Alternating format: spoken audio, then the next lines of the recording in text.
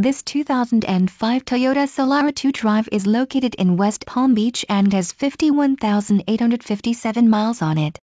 This 2 Drive has a beautiful black exterior paint color which is complemented by a beige interior color. This vehicle features engine immobilizer feature, front seat dual stage advanced airbags, front seat mounted side impact airbags, 12-volt auxiliary power outlet, 6-speaker audio system, and many other features. For more information on this great 2 drive please click the link to the right.